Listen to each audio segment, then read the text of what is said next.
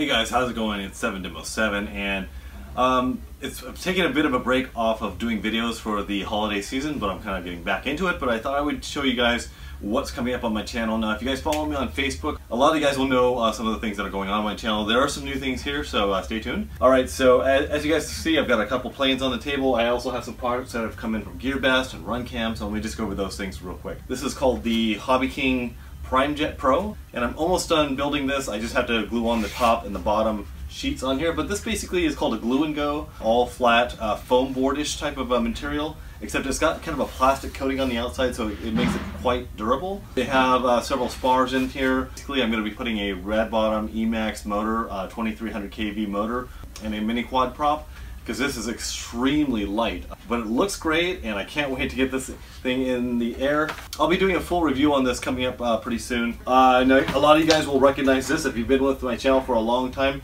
This is the very first legit wing that came out and it normally took these 2450 uh, size batteries but you also had to add some lead in the front to get this wing to balance, which you do with most wings. Um, so I decided to go with the more modern uh, 4S 3300 uh, kV uh, battery pack and I just flew this this morning. It flies great and you get really, really long run times. And another thing from Team Legit is called the Team Legit Wombat. Now this is a pre-production version. This is going to be going out on their site pretty soon. So how should we describe this, guys? It's a bank and yank uh, airplane. It's going to have ailerons here. It's going to have two vertical fins here that has no rudder and also an elevator back here. Now these um, booms here have not been cut to size. They will be a lot shorter than what you see here but it, um, it goes together very, very nice. I've placed in the top spar here, and I need to place the bottom spar. But if you guys look at the wing profile, it's pretty much flat on the top with a minor bit of dihedral on the bottom, which is uh, a very interesting uh, way of building wings.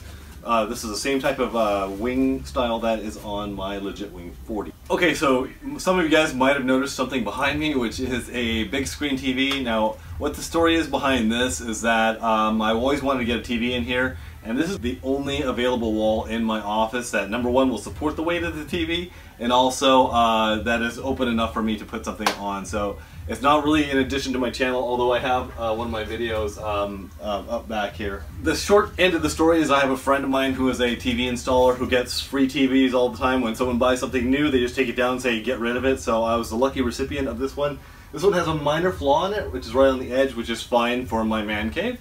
So uh, and luckily I have, um, I had an old Apple TV unit, which is right up here at the top, and I'm able to stream my videos from my phone to the television and uh, also watch Netflix while I'm working in my office. So that's pretty cool. Uh, I bought these speakers from Goodwill. They were Sony speakers for $10 a piece.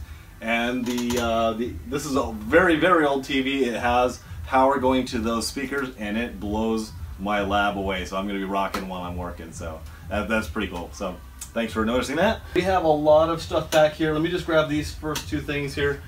Um, this is something that hasn't come out yet. This is the RunCam 2 with a new lens on it. We're taking the field of view from about 135, 145 degrees to 170 degrees of field of view. This is something I've wanted for a long time and I love the RunCams, as you guys know. Um, I've done some preliminary uh, testing with this.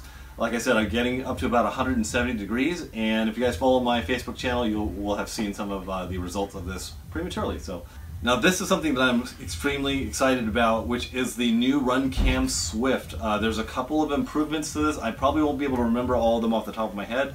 One of the biggest things is this RunCam Swift has a new OSD built into it, which is what a lot of cameras have gone to. One complaint with the RunCams has been the length of the lens. If it's sticking out farther, it's more likely to get damaged. So they really address that.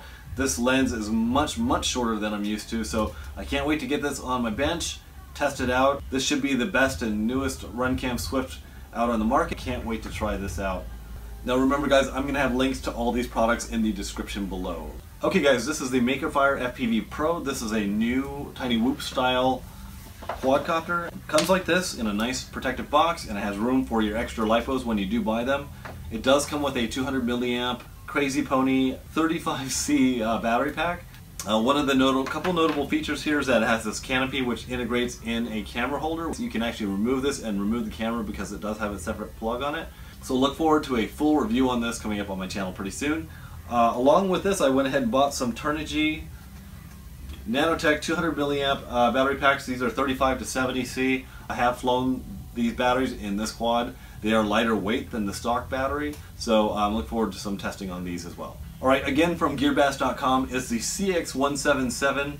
Okay guys, uh, when you open the box here, you're to see these very interesting looking tri-bladed uh, propellers from Cheerson, blue, red, a charger, some very, very wide, thick motors. Um, this looks like the flight control board. So this is mainly a, a, kit. Here's your motor holders. This is a very big 600 milliamp, uh, 7.4 volt uh, battery pack.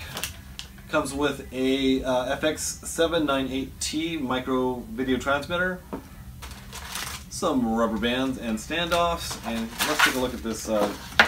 This is the carbon frame for this Cheerson 117. So I will be building this up. I believe that, I don't know what type of a board it is, if it binds up to a DSMX Spektrum style or a um, Taranis.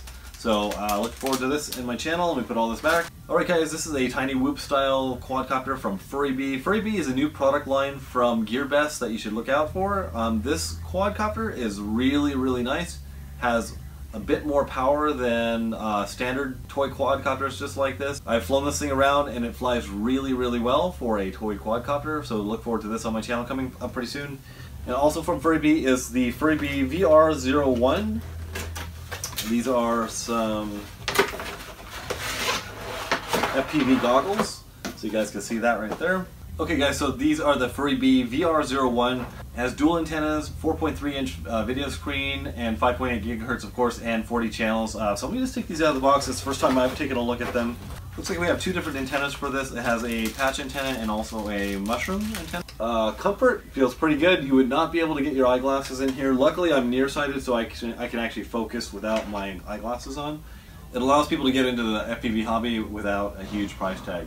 Now one other thing I'm noticing here is that there's a speaker here, so it looks like we'll be able to transmit sound on these as well. So one last thing that the, that GearBest sent me was just looks like an additional uh, FuriBee uh, antenna. So FuriBee looks like it's going to be one of their um, brands that they're going to be doing some some branding with. Keep an eye out for the FuriBee items. This looks exactly like an ImmersionRC uh, antenna. If I were to pop this open, I would guess that it would look exactly like that as well. All right, off quickly to a few other things. Um, uh, if you guys will remember my Slash, um, this truck is amazing. Um, is only two-wheel drive and it is brushed. I would like to upgrade it to brushless coming up in the future. I've put a battery into here and basically haven't done anything else to it. So this is just a fun car all the way around. If you guys have kids, this you really don't have to worry about too much. Alright, anything else?